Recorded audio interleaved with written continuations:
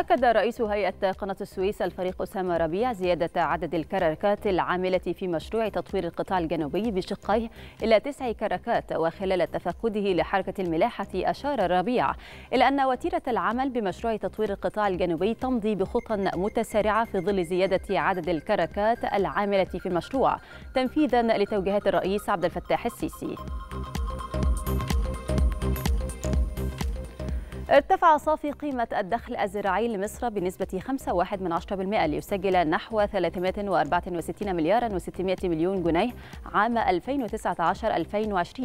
وكشفت بيانات الإنتاج الزراعي الصادرة عن الجهاز المركزي للتعبئة العامة والإحصاء عن قيمة الإنتاج النباتي حيث بلغت نحو 321 مليار و800 مليون جنيه عام 2019-2020 مقابل 286 مليار و100 مليون جنيه عام 2018-2019 بزيادة بلغت نسبتها 12.4% كما بلغت قيمة الإنتاج الحيواني نحو 210 مليارات و500 مليون جنيه بزيادة بلغت نسبتها 12.5% وإلى البورصة المصرية التي أنهت مؤشراتها تعاملات جلسة اليوم على ارتفاع جماعي مدفوعة بعمليات شراء من المتعاملين المصريين. ارتفع رأس المال السوقي بنحو 600 و600 مليار أو 6 مليارات جنيه و200 مليون جنيه ليغلق عند مستوى 602 مليار و974 مليون جنيه. أما على صعيد المؤشرات فتح مؤشر EGX 30 عند مستوى 8772 نقطة وأغلق عند مستوى 8867 نقطة مرتفعا بنسبة 1.8% وفتح مؤشر الشركات الصغيرة والمتوسطة EGX 70 عند مستوى 1696 نقطة وأغلق عند مستوى 1700 و25 نقطة مرتفعا بنسبة 1.71% كما فتح مؤشر EGX 100 عند مستوى 2484 نقطة ليغلق عند مستوى 2527 نقطة مرتفعا بنسبة 1.71% إلى أسواق العملات حيث تباينت أسعار العملات أمام الجنيه المصري ليسجل الدولار الأمريكي نحو 18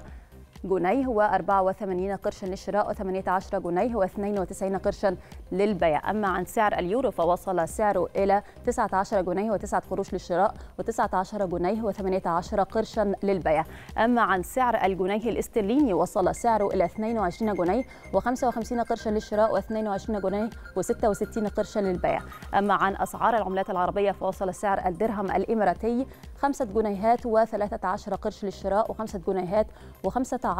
قرش للبيع. أما عن سعر الريال السعودي وصل سعره إلى 5 جنيهات و1 قرش للشراء و5 جنيهات و4 قروش للبيع.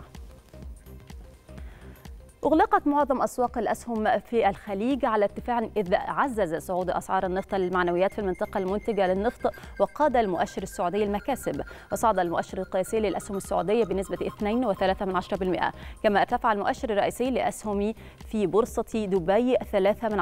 ارتفع كذلك المؤشر الرئيسي للأسهم في أبو ظبي 1% كما صعد المؤشر القطري 1% في ختام التداولات.